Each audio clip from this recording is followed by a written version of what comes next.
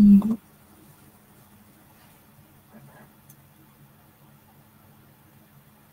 em chào các anh chị à, mình đợi một chút xíu khoảng chừng một phút nữa để cho các anh chị khác vào có thời gian vào nữa nha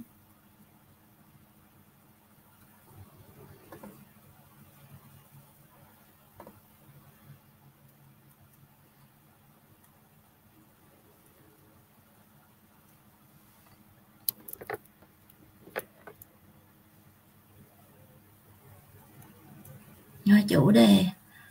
Chủ đề hôm nay em sẽ chia sẻ thì nó là vấn đề mà, mà có thể là nhiều người anh chị ờ, mới làm cha mẹ sẽ quan tâm. Và nó và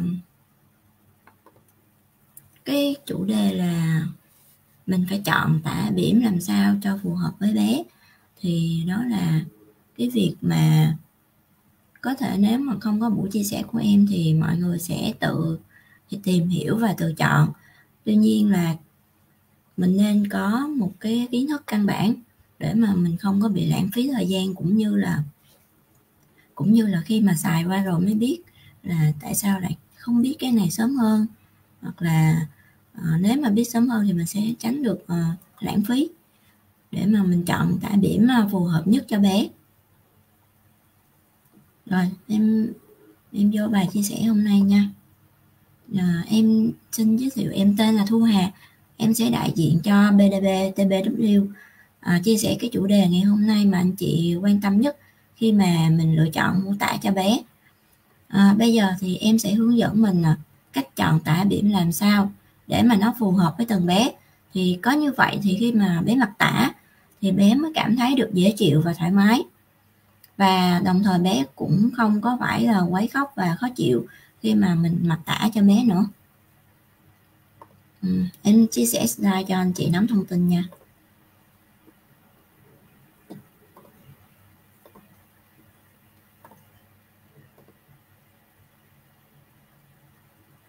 Dạ rồi.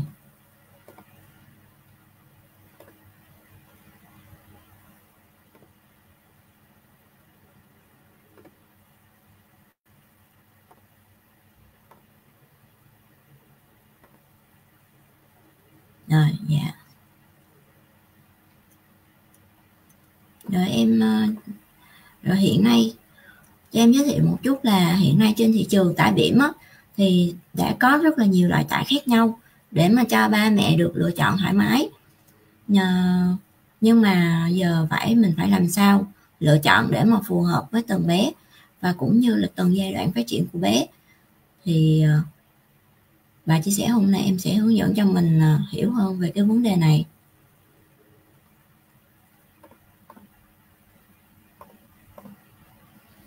À, thì à, như anh chị thấy thấy à, trong hình trong hình thì mình cũng thấy được là trên thị trường hiện nay thì nó sẽ chia ra ba loại tả để mà phù hợp cho từng giai đoạn của bé.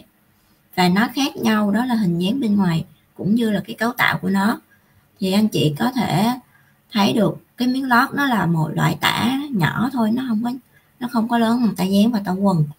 Và nó sẽ không có các miếng giải dính hoặc là cái miếng dán để mà cố định lại cái tả. Và thường nó được dùng á, là dùng kèm với lại tả vải. Và phía sau nó sẽ có cái keo dính để mà dán vào cái miếng tả vải và sử dụng. À, thì tả dán thì nó khác cái miếng lót là nó sẽ có cái miếng à, dán và để cố định tả vào trong cơ thể của bé. Và mặt tả dán như vậy thì không cần phải thêm cái phần tả vải nữa. Và và cái thiết kế thiết kế của tả dán nó sẽ giống như tên luôn. Là nó nó có cái miếng dán ờ, dán ở phía trước bụng cho bé. Còn mặt tả quần thì mình cũng thấy được là nó cũng như là một chiếc quần gì đó. Và nó có phần co giãn ở bụng và ở chân ôm vào bé để mình nước nó không có bị tràn ra. Thì em sẽ so sánh cái sự khác nhau giữa ba loại này như sau nha. Thì ờ, đầu tiên cái miếng lót và tại dán thì mình có thể thấy là nó sẽ được dùng cho bé từ khi mà bé sơ sinh. Tuy nhiên à, tả quần thì mình chỉ nên dùng cho bé từ 2 đến 3 tháng trở đi. Vì lúc mà bé mới sinh nó một phần là bé còn yếu. À, phần chân của bé vẫn còn yếu phần và cái phần rốn của bé cũng chưa có rụng hết nên cho nên là mình không thể dùng tảo quần để mà ôm cái bụng của bé này được. Và cái miếng lót và cái miếng dán và cái tả dán nó có thể dùng cho bé. Với lại uh, trong những cái giai đoạn tương tự nhau hai loại này thì dùng tương tự nhau. Tuy nhiên thì lúc bé sơ sinh bé chỉ ngủ nhiều và bé cũng chưa biết lực. Thì anh chị có thể dùng miếng lót để mà mình tiết kiệm chi phí hơn. Rồi à, trừ khi nào mà mình ra ngoài á thì mình nên mặc xen kẽ với tả dán để mà cái việc thay tả nó dễ dàng hơn và nó cũng tiện lợi hơn. À, mình chỉ cần thay và bỏ đi thôi chứ mình không có cần dùng kèm theo cái tả dán. Mình không cần dùng kèm theo cái tả vải khi mà mình dùng cái miếng lót nữa. Miếng lót này nè. Và khi mà một tháng sau một tháng sau mà bé đã có thể uh, rụng rốn rồi và bé khỏe hơn á thì mình có thể chuyển sang tả dán cho con um, có nhiều anh chị á, thì không thích dùng tả vải. Để mà dùng miếng lót thì mình có thể dùng tả dán ngay từ lúc sơ sinh cho bé luôn. Uh, nếu mà anh chị nào mà muốn tiết kiệm uh, chi phí thì một tháng đầu mình có thể dùng miếng lót để mà mình giảm thiểu chi phí về dùng tả cho con. Và khi mà mình đã có thể sẵn sàng để mà chuyển sang tả dán thì mình chuyển sang tả dán cho con là được rồi sau khi một tháng là được rồi ạ. Và khi mà dùng tả dán thì nó sẽ tiện hơn rất là nhiều so với miếng lót và tới cái giai đoạn mà bé đã biết lật hay là tập đi rồi á thì mình hãy chuyển sang tả quần để mà nó đỡ cho bị đỡ vì cái bị lệch đi. Tại vì lúc mà bé lật hay là bé tập đi á thì mình dùng tả dán đôi khi nó cũng bị lệch do bé hoạt động mạnh. À, cho nên là khi mình dùng tả quần mình sẽ tránh được cái trường hợp bị lệch này và bé cũng được tự do thoải mái hoạt động tốt hơn và em sẽ phân biệt thêm một cái nữa, đó là tả dán và tả quần mình có cái diện tích tiếp xúc với bé nhiều hơn. Nên là cái khả năng chống tràn và thấm hút nó cũng sẽ tốt hơn và nhanh hơn so với miếng lót. Đây cũng là một cái sự lựa chọn của hầu hết ba mẹ. Khi mà em hỏi tới thì ba mẹ hầu hết là sẽ dùng tả dán và tả quần nhiều hơn cho con so với lại à, dùng miếng lót. Và với cái tả quần ta bay với tả quần cao bay bên em thì nhờ thiết kế mỏng và nhẹ, thì à, bé mặc tả cũng sẽ không bị khó chịu. Khi mà nó chỉ trông như là một cái quần nhỏ của bé thôi. Bé mặc quần thì quần cũng như là tả ca bai thì nó sẽ không có bị cộm ở giữa hai chân, nên là bé vẫn có thể hoạt động thoải mái nhất. Đó là cái phân biệt ba cái loại tả ở hiện nay trên thị trường. Thì ba mẹ có thể thấy để mà mình đưa ra cái lựa chọn mua tả gì cho con. Khi mà mình chọn được cái loại tả mình mong muốn thì mình sẽ chuyển sang là mình phải lựa chọn chọn sai như thế nào. Thì ờ, cái việc chọn sai nó cũng quan trọng không kém bởi nếu mà ba mẹ chọn tả bị chật thì ngoài việc ờ, gây làn đỏ ở viền, cái viền thun của bé thì bé còn ờ, dễ bị hâm nữa. Cho nên là hay là chọn quá rộng thì tả sẽ dễ bị tràn tả. Thì mình cũng không nên chọn quá chật hay quá rộng thì em xin hướng dẫn mình chọn size như thế nào ờ, so với đối đối với tại ca bài để mà bé được thoải mái nhất. Thì bản size này bên em đã cân đối giữa cái quy chuẩn Thái Lan và Việt Nam. À, sau khi mà đã khảo sát qua nhiều anh chị sử dụng tả K3 trước đó cho nên là em đã ra một cái quy chuẩn Việt Nam ở đây. Nên là anh chị hãy chọn theo quy chuẩn Việt Nam nha. Còn một cái quy chuẩn Thái Lan ở trên bao bì á thì mình đừng có quan tâm tại vì cái thói quen mặc tả khác nhau thì cái cách chọn sai tả nó cũng khác nhau. Cho nên là mình chọn theo quy chuẩn Việt Nam đó là chuẩn nhất à rồi cái quan trọng khi mà mình chọn sai á, thì mình nên tư vấn cho khách là mình phải chọn sai để mà cân đối giữa cái số tháng và số ký của bé. Thì có cái bảng WHO này nè thì uh, đây là bảng quốc tế rồi cho nên là mình có thể dựa vào đây để mà mình chọn sai Ờ, bây giờ em ví dụ cho anh chị một cái trường hợp. Cái trường hợp là bé đạt đúng mức trung bình của bảng WHO luôn. Nghĩa là cân nặng và số tháng của bé là nó tương đương nhau trong cái bảng này. Em ví dụ là bé trai 10 tháng. Ở bên này là bé trai bé trai 10 tháng và 9 kg bé trai 10 tháng 9 kg thì cái 9.2 kg này là 9 kg thì bé cũng thuộc dạng là trung bình. Cho nên là mình có thể chọn đúng cái số ký ở bên bảng size này luôn. Đó là 9 đến 12 ký là mình chọn size XL nếu mà bé nào mà trộn ví có mũm mỉm hơn hoặc là có cái vòng bụng á, uh, tròn hơn các bạn xíu thì ba mẹ tăng size một tăng một size cho bé để mà bé à, cảm thấy thoải mái nhất. Đó là mình có thể tăng lên ờ, 2XL còn cái trường hợp thứ hai bé trai cũng là 10 tháng luôn, nhưng mà bé được 10 kg nó sẽ cao hơn cái mức trung bình ở trong cái bảng cân đối này. Thì mình à, chủ động tăng một size luôn cho bé nha. Là, mặc dù là bé 9 10 kg bé 10 kg là bé sẽ cũng nằm trong mức XL luôn. 9 tới 12 kg thì 10 kg nằm trong mức XL thì ở đây là mình không cần coi là bé có tròn hơn hay là không, thì mình vẫn chủ động tăng một size cho bé luôn đó là lên size 2XL luôn à rồi cái trường hợp uh, thứ ba đó là bé cũng 10 tháng luôn nhưng mà bé nhẹ cân hơn so với cái bảng này. Bé 7 kg bé 7 kg thì bé nhẹ cân hơn so với cái bảng này rất là nhiều. Thì mình thì mình à, không có giật lùi sai ở trên này nha. Em lưu ý là mình không có giật lùi sai mà mình phải tăng một sai luôn. Tại vì bé 7 kg nhưng mà bé 10 tháng thì bé cũng đã lớn và người bé dài hơn á. Cho nên là nếu mà mình chọn đúng cái 7 kg này nè, đúng cái 7 kg size L thì tả nó sẽ bị ngắn à.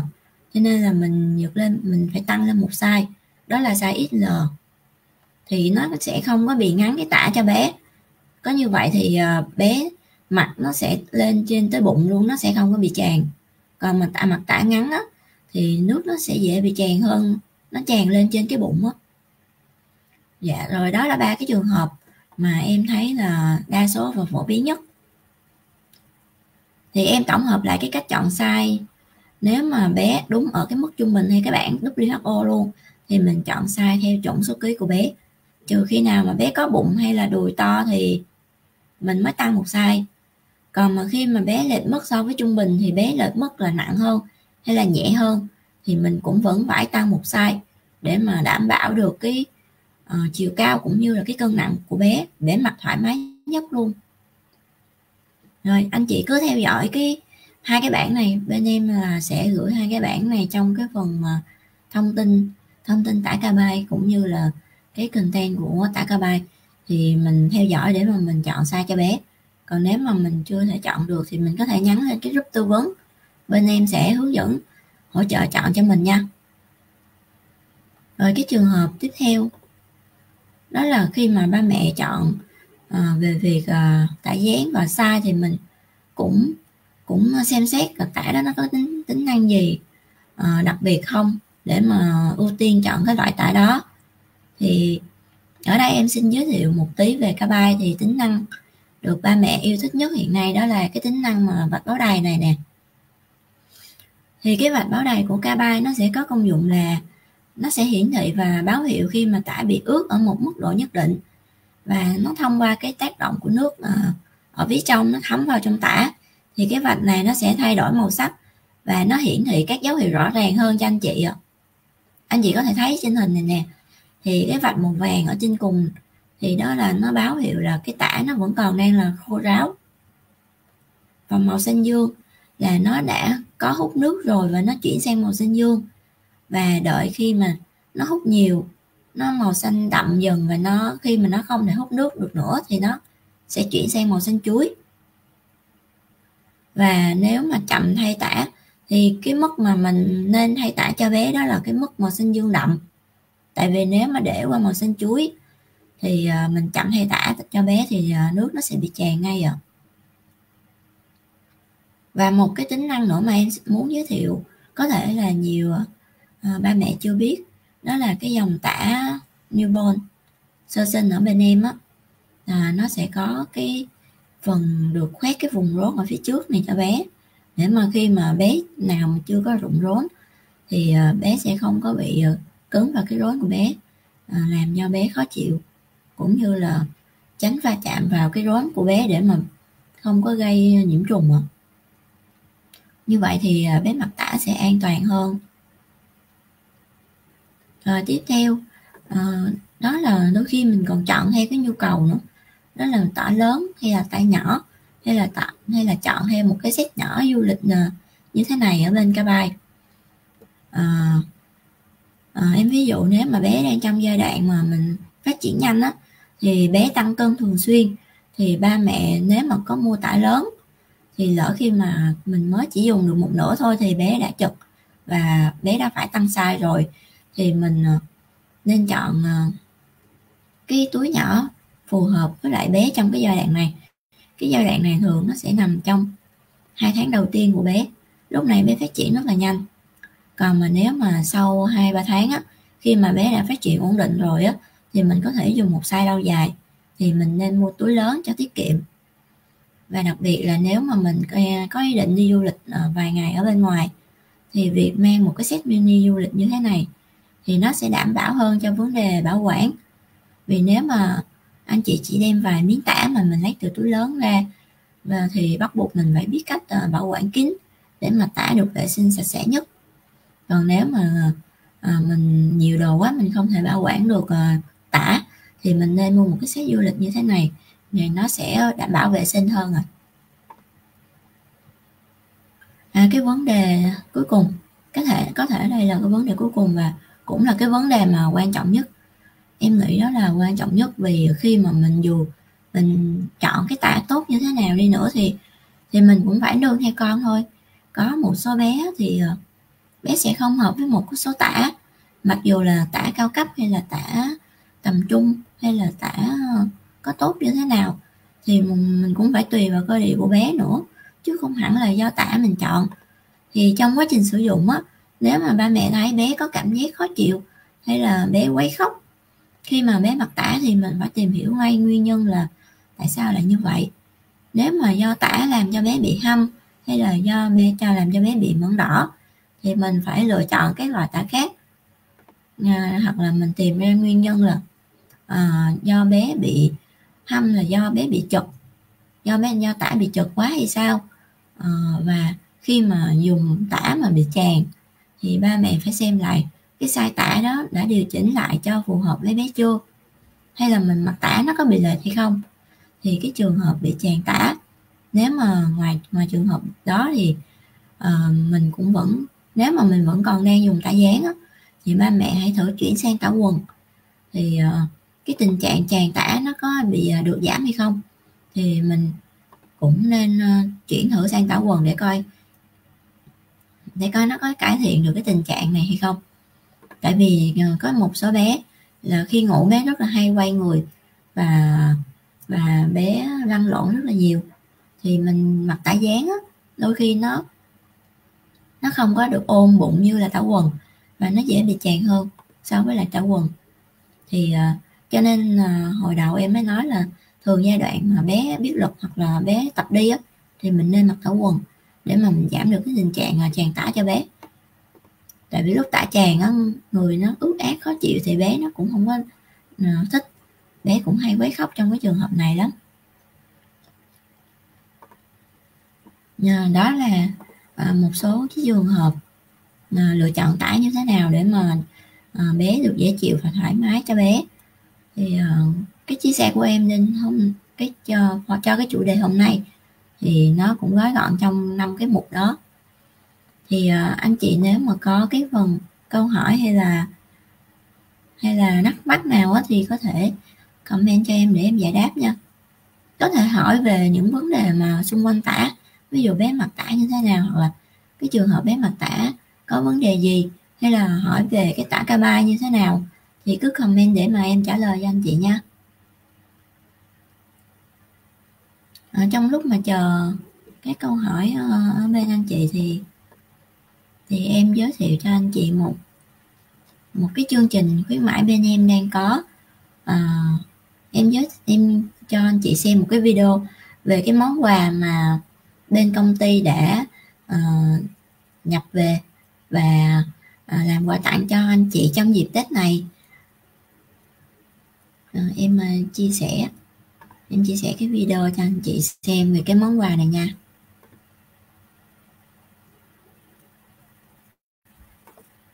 À, đó anh chị thấy cái khay cái khay mứt tết này có thể là dùng cho dịp tết của mình hoặc là mình bỏ trái cây để mà mình để ở trong phòng khách đó mình à, tiếp khách. Cái khay này nó bằng à, mica. Nó không có nó không có dễ bị bể vỡ như là thủy tinh nhưng mà nhìn nó rất là sang trọng nhìn nó đẹp giống như là thủy tinh luôn đó anh chị. Nó mình cũng có thể bỏ các loại hạt như thế này và để ở trong phòng khách để mà mình à, đãi khách hay là mình mình xem tivi mình ăn cũng được. Nó đẹp lắm anh chị. Anh chị cầm ở ngoài anh chị sẽ thấy. Đó, người ta cho nó vỡ nhưng mà nó nó rất là khó bể vỡ giống như là thủy tinh. Đó, cái món quà này thì bên em đang triển khai và tặng anh chị khi mà mình mua kèm với tả cho bé cho cái dịp tết này.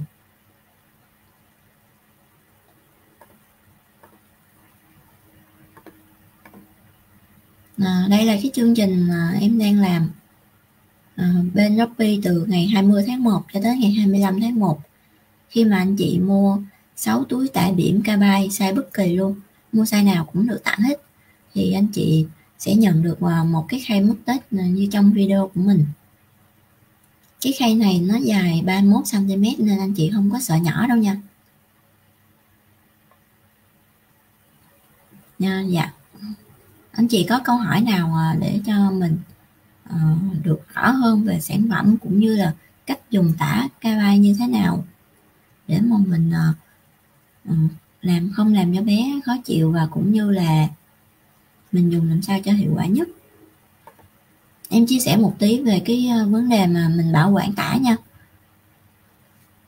Khi mà mình ờ, đi ra ngoài ờ, đi đâu đó cần mà mang theo tả thì mình hãy chuẩn bị một cái túi zip lớn. Mình bỏ tả vào và mình đóng cái miệng túi lại. Mình đóng kín như vậy thì mình không có sợ nước nó vào mà cũng không có sợ vi khuẩn nó vô. Mình bảo quản như vậy thì mình sẽ giúp cho cái tả nó luôn luôn vệ sinh. Tại vì tả khi mà mình mặc cho bé rồi mà mặc dù bé chưa đi vệ sinh. Nhưng mà khi mà đã sử dụng rồi á, thì mình vẫn nên thay tả trong vòng 4 đến 5 tiếng. Tại vì nếu mà bé vẫn không đi vệ sinh nhưng mà nó đã tiếp xúc với môi trường ở bên ngoài nó đã có cái ờ, thời gian nó tiếp xúc với lại ờ, vi khuẩn ở bên ngoài thì nó sẽ nhanh chóng sinh sôi vi khuẩn ở trong cái mặt tả. Cho nên là mình không thể chủ quan khi mà thấy tả chưa bé chưa có đi vệ sinh thì mình cứ để như vậy hoài thì nó cũng không có tốt. Nó sẽ làm cho bé bị hâm mà à, và tả ca ba ở bên em là không có dùng mà chất bảo quản không có dùng mà chất khử mùi cũng như không có dùng các chất à, kháng khuẩn. Tại vì những chất đó thì dù ít hay nhiều thì nó cũng ảnh hưởng đến da của bé. Cho nên là uh, tả bên em là hoàn toàn không có những những cái chất đó. Cho nên là mình dùng tả mình dùng trong vòng 4 đến 5 tiếng mình thay tải cho bé.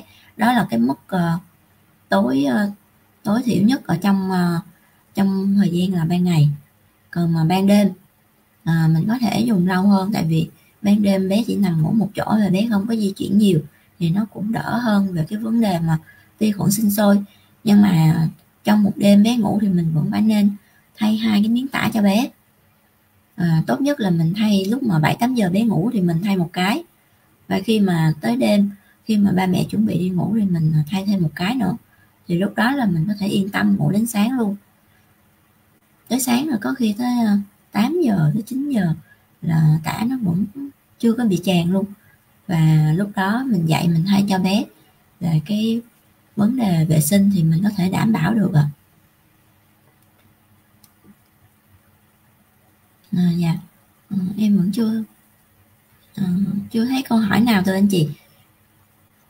Ừ, có cái phần cái phần chia sẻ hôm nay em có thu âm lại và phát lại video. Anh chị có thể gửi cho anh chị nào sắp làm cha mẹ để mà tìm hiểu thêm về cái cách chọn điểm cho bé để mà chuẩn bị cho bé khi mà đi sinh nha. À, em cảm ơn anh chị đã theo dõi cái buổi chia sẻ ngày hôm nay của em. À, chúc anh chị một ngày à, làm việc à, vui vẻ và không có à, quá gì nhiều mệt mỏi. À, em cảm ơn anh chị nha. À, em chào anh chị.